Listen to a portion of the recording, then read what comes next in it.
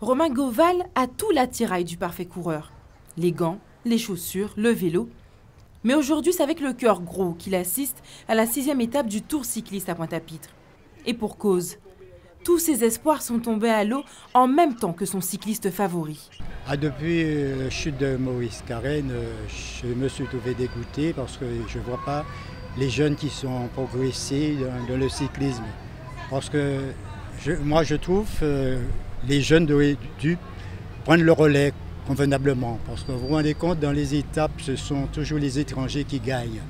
Et moi, j'aurais voulu qu'un jeune gagne le tour aussi. Comme lui, de nombreux Guadeloupéens sont moins enthousiastes depuis la chute de l'enfant chéri du pays. Nos compatriotes, ils ne sont pas très, très, très chauds. Hein?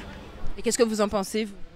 Ben, Ils vont se remettre il y a encore l'année prochaine, avec la grâce de Dieu. Maurice euh, pour moi, c'est le, c'est le potomitan de la Guadeloupe. C'est lui, c'est, lui seulement, on pouvait compter sur lui. Et comme euh, sa chute, ça, ça, ça, ça a fait les gens euh, beaucoup, beaucoup, beaucoup, beaucoup, beaucoup mal. Une ambiance morose à un kilomètre de l'arrivée qui déteint sur la bourse de cette commerçante. Je pensais qu'il y aurait eu plus de monde et j'ai un grand regret d'avoir choisi cette place. J'aurais pu aller un petit peu plus bas. Bien que quand je suis arrivé, euh, était déjà barré en fin de compte. Dès 8h30, 9h, on n'avait plus accès à Patapet, c'était fermé.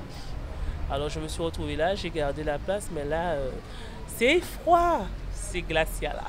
Une ambiance refroidie certes, mais qui n'a pu tiédir la passion à l'arrivée des premiers coureurs.